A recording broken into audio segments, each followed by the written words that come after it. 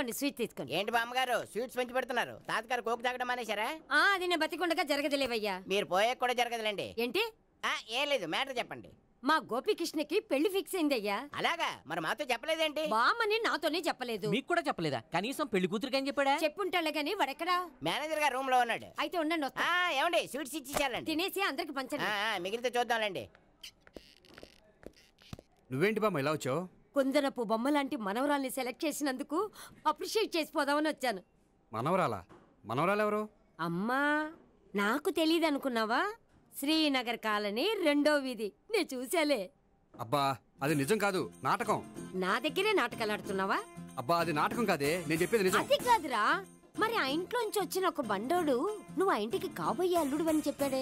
వాడి దృష్టిలో నేను కాబోయే అల్లుండే కానీ నా దృష్టిలో కాదు. వాడేమో ఆ అమ్మాయి నేను లవర్స్ అనుకుంటున్నాడు కానీ మేము లవర్స్ కాదు. ఆ నిజం వాడికి తెలియక మేము చెప్పిన అబద్ధాన్ని నమ్మి నిజం అనుకుని నీకు చెప్పాడు. ఆ అబద్ధాన్ని నిజం అనుకుని నువ్వు ఇక్కడికి వచ్చావు. అర్థమైందా?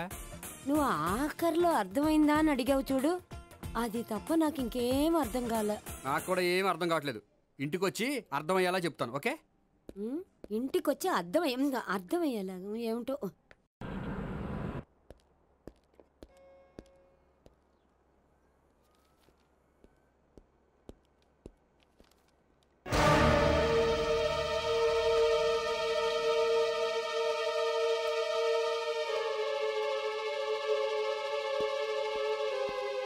ఏమండి?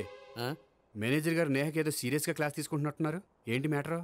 ఇందాక క్యాష్ కౌంటర్లో కూర్చున్నప్పుడు ఎవడికో పదివేలు ఎక్కువ ఇచ్చేసింది. దాంతో మా మేనేజరు ఏంటా విషయం పూర్తిగా అనుకుని వెళ్ళిపోతున్నాం సార్? హలో నేహ గారు ఏంటండి మీ బ్యాంకులో డబ్బులు ఎక్కువగా ఉన్నాయా? నాకు పదివేలు ఎక్స్ట్రా ఇచ్చారు. అవునండి హడావుల్లో ఇక్కడ చూసుకోవడం మర్చిపోయాను. ఆఫీస్కి వెళ్ళి చూసుకుంటే పదివేలు ఎక్స్ట్రా ఉంది. తీసుకోండి. అబ్బా తీసుకోండి. Thank you sir. పది రూపాయలు దొరికినా తిరిగి ఇవ్వని ఈ రోజుల్లో పదివేల రూపాయలు తిరిగి తీసుకొచ్చి ఇచ్చారంటే రియలీ యూఆర్ గ్రేట్ మీలాంటి వాళ్ళు ఎక్కడ ఉండరండి. ఇక్కడే ఉన్నాను కదండి. అమ్మో ఇటు సామాయుడు కాదు. చూడండి ఈ అమ్మాయి మిస్ చేసిన డబ్బులు తిరిగి ఇచ్చేసింది. కానీ మీరు ఈ అమ్మాయిని తిట్టిన తిట్లు తిరిగి తీసుకోగలరా? అందుకే ఇక ముందు ఎవరిని తిట్టకండి. వస్తానండి.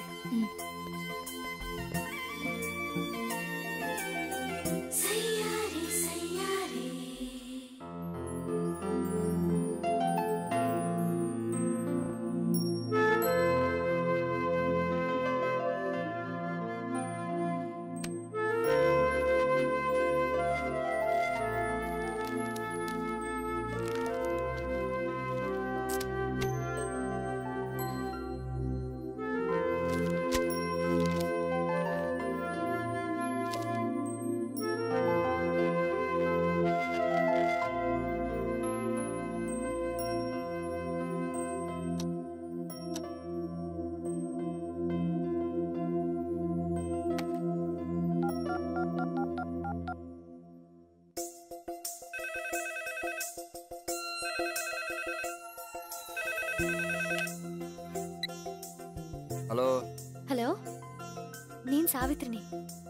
నిద్రపోతున్నారా? అవును. మీరేంటి టైంలో? ఏం లేదండి.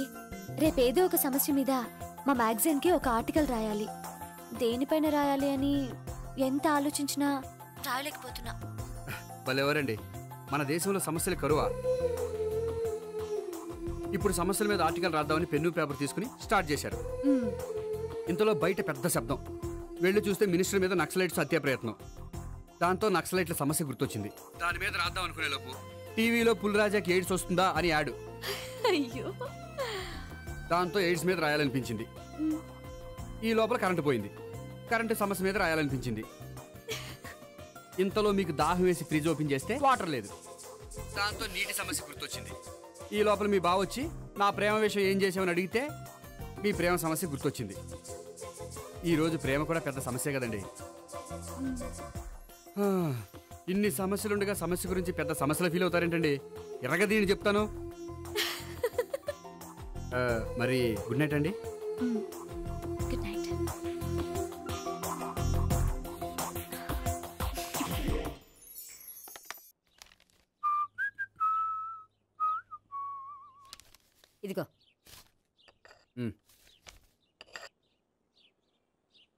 చల్లరిపోయిందా? గోపి బేకరీకి వెళ్ళి కేక్స్ కొనుక్కోవాలి. డబ్బులు ఇవ్వు. ఏంట్రా డుంబు ఈ టైంలో ఇక్కడ ఉన్నావు? డాన్స్ క్లాస్కి వెళ్ళదా? డబ్బులు ఇస్తే చెప్తా. ఈడొకడు ఇదిగో నీకోసం పెట్టుకుని తిరుగుతున్నాను. తీసుకో. చెప్పు. ఈ రోజు మా టీచర్ ఇంట్లో పెళ్ళి చూపులు. అందుకనే ఈ రోజు మాకు సెలవు. పెళ్ళి చూపులా?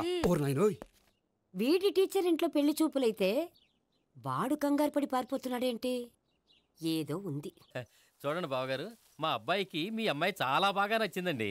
కట్నం మీరు ఎంత ఇచ్చుకుంటే అంత. కానీ పెళ్ళి మాత్రం అన్నవరంలోనే జరగాలి. అలాగేనండి. అలాగే చేద్దాం.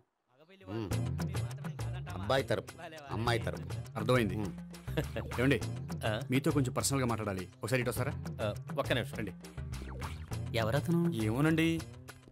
చెప్పండి ఏంటి విషయం? ఆ అమ్మాయిని మీరు చూసారా చూశాను లక్షణంగా ఉంది. ఫిగర్ గుడ్డే క్యారెక్టర్ బ్యాడ్.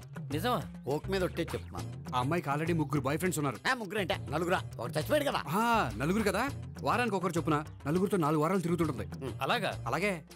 చెప్తా. ఆయన వర్కౌట్ చేద్దాం దా. పదా. పెళ్ళి కొడుకు గురించి మీరు ఎంక్వైరీ చేశారా? చేసామండి అబ్బాయి డబుల్ ఎంఏ ఎంఫిల్ పిహెచ్డి కూడా. HIV కూడా. హెచ్ఐవి ఏంటి ఎయిడ్స్ కదండి? అక్షరాలా అదే. పెళ్ళి కొడుకు ఎయిడ్సా మాకు తెలిసి ఉంది అవునో కదా? మీరే పెళ్ళి కొడుకుని అనుకోండి అయితే ఖచ్చితంగా కనుక్కుంటాం. అదండి. సాక్షాత్ బ్రహ్మదేవుడి దిగి వచ్చిన ఈ పెళ్ళి. అవును. రా. ఆ?